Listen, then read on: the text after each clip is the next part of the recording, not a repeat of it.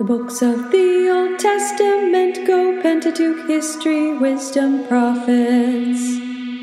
Genesis, Exodus, Leviticus, Numbers, and Deuteronomy. Joshua, Judges, Ruth, 1st and 2nd Samuel, 1st and 2nd Kings, 1st and 2nd Chronicles, Ezra, Nehemiah, Tobit, Judith, then Esther, 1st and 2nd Maccabees. Job, Psalms, and Proverbs, Ecclesiastes, Song of Songs, Wisdom, and then lastly Sirach. Isaiah, Jeremiah, Lamentations, Baruch, Ezekiel, and Daniel. Now take a deep breath.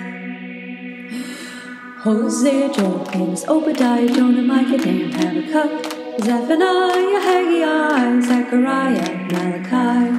Wait, have some questions. Me too. Okay, sure, go ahead. Why are the books arranged like that?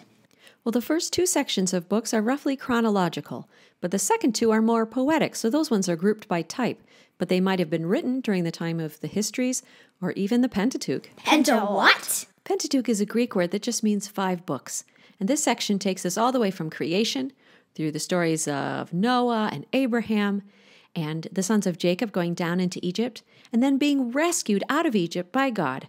They have an amazing history. Whose history?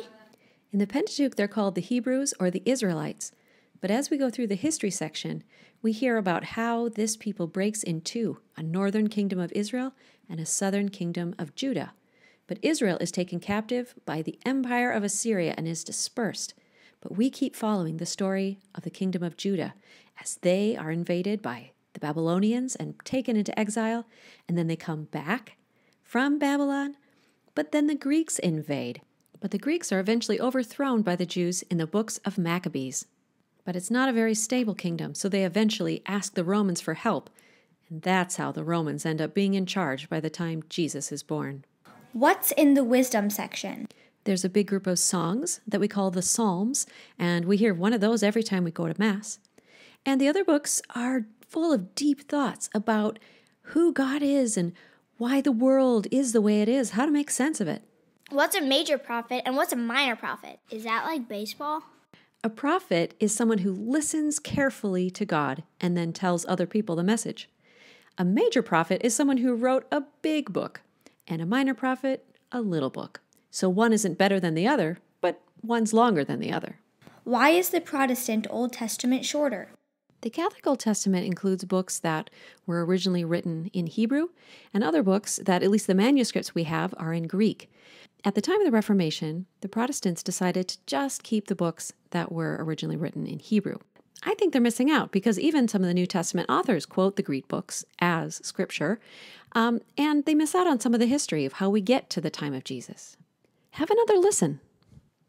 The books of the Old Testament go Pentateuch, history, wisdom, prophets. Genesis, Exodus, Leviticus, Numbers, and Deuteronomy. Joshua, Judges, Ruth, 1st and 2nd Samuel, 1st and 2nd Kings, 1st and 2nd Chronicles, Ezra, Nehemiah, Tobit, Judith, then Esther, 1st and 2nd Maccabees.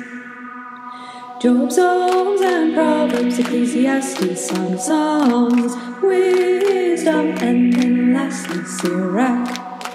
Isaiah, Jeremiah, Lamentations, Baruch, Ezekiel, and Daniel. Take a deep breath. Hosea, Joel, Amos, Obadiah, Jonah, Micah, Nahum, Habakkuk, Zephaniah, Haggai, Zechariah, Malachi. Thank you. Thank you so much.